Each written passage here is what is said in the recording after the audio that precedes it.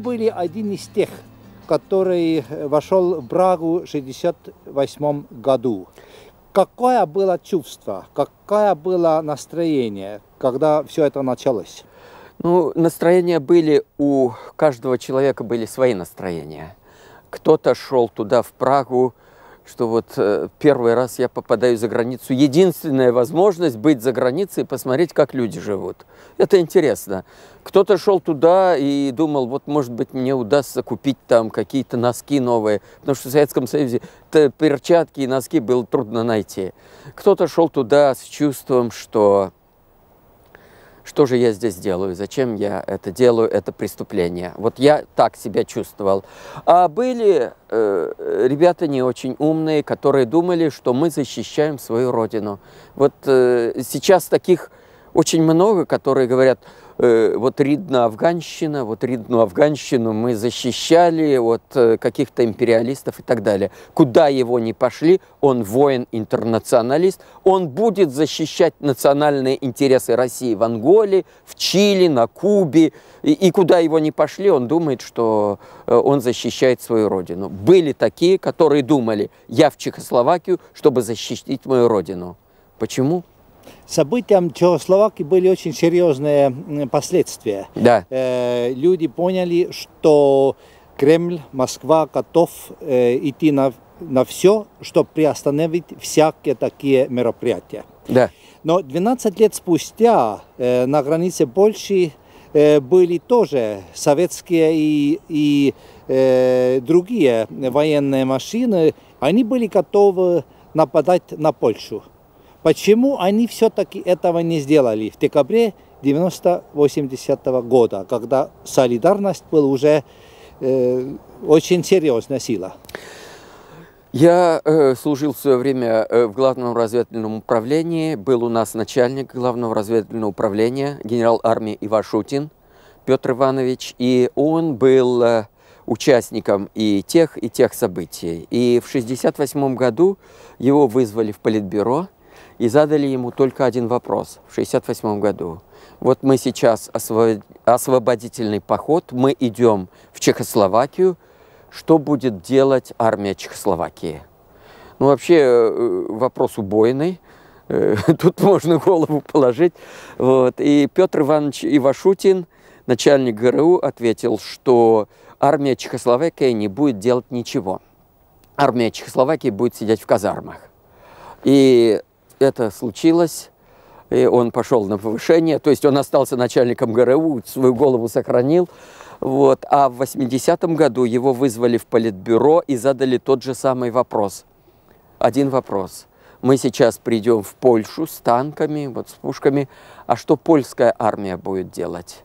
И он ответил, польская армия будет воевать. И после этого э, решили э, что угодно. Пусть польская армия воюет против своего народа, но если мы туда войдем, то польская армия будет воевать против нас. И это будет конец. Поэтому они туда не пошли. Мощь любой армии всегда исчисляется не количеством танков и пушек, а решимостью воевать. Мы готовы воевать или не готовы. Вот есть Финляндия, у них было мало танков, у них было мало артиллерии, но они были готовы воевать, и они воевали. Вот и были другие страны, которые, допустим, та же Чехословакия в 1938 году не воевала. Та же Польша, то есть в 1938 году, когда Гитлер брал Чехословакию, у чехов было больше танков, чем у немцев. У чехов, э, Шкода выпускал танки, у чехов были такие э, укрепления, которые, когда немцы вошли и посмотрели на укрепления в горах, они сказали, так у нас же не было оружия, чтобы эти укрепления взять. Но чешская армия в 1938 году не воевала. А та же польская армия, выхватив сабли, вот, на конях атаковала немецкие танки. Вот это пример. Этот пример очень советским руководителям не нравился. Вот на конях с саблями. Вот. Но это решимость. Поэтому мы не говорим о количестве танков. Вот Афганистан. Сколько было танков у афганского народа э, в 1979 году? Нисколько их не было. Сколько было у них автоматов? Нисколько не было. Какая армия? Никакой армии. Но была решимость воевать против агрессора, и они эту войну выиграли. Как вы оцениваете роль э, Польши солидарности вообще в Восточной Центральной Европе э, вот в этих событиях э, в начале э, 80-х годов? Колоссально. Я туда поехал, как только рухнула Берлинская стена, как только э, зашаталось все это, я поехал туда, в Польшу, и я э, благодарил людей Польши просто вот от себя, не от кого-либо, от себя. Спасибо за то, что вы э, вырвали свободу для себя, вы пример для нас. А дальше мы будем вторыми. Будет у нас свобода или нет, ну что-то случиться должно.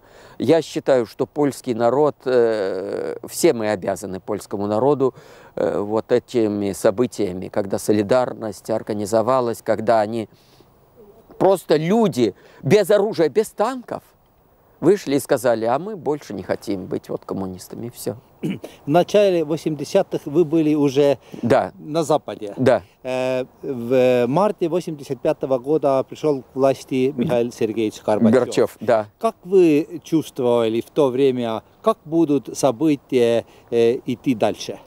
Это было очень просто. Тут сразу было Сразу же э, какие-то большие эксперты из британского правительства, вот сразу так вызвали меня, и тут э, чаек, кофе, давай поговорим, вот что ты думаешь, вот. У них свое мнение, а что ты думаешь? Вот пришел такой хороший человек. Я говорю, ребята, обождите, стойте. Любые изменения, любые изменения могут быть косметические или глубокие. Косметические изменения, это же никого не волнует, правда, да? Косметические. Что он там будет делать, это никого не волнует. Что такое глубокие изменения? Разогнать КГБ, дать свободу вот, там, э, Эстонии, Литве, Латвии. Вы думаете, он разгонит КГБ, дать свободу? Не даст. Поэтому, а косметические меня не интересуют. Ну, они мне сказали, ну, они, э, ребята, конечно, такие, они джентльмены, они не сказали, что я дурак, ну, так подумали. Вот. Но я считал, что никаких глубоких изменений при Горбачеве не будет, и я прав. Косметические нас не интересуют. Все началось, я думаю, с Андропова. Вот Андропов. И вдруг Андропов начинает ловить людей здесь, вот даже в Эстонии, вот, ага, ты в бане, что ты делаешь в бане, вот иди работай. Я думаю, господи, какой же дурак. Ведь э, перед страной стоят экономические проблемы. Экономические жрать нечего, очереди, дефицит, ничего нету.